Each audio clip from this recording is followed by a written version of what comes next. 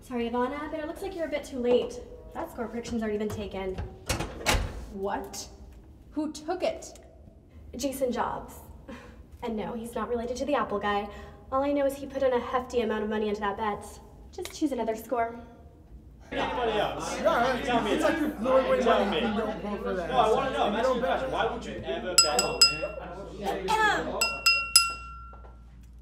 The bets are locked in, people. Now let's see who gets lucky. Yeah!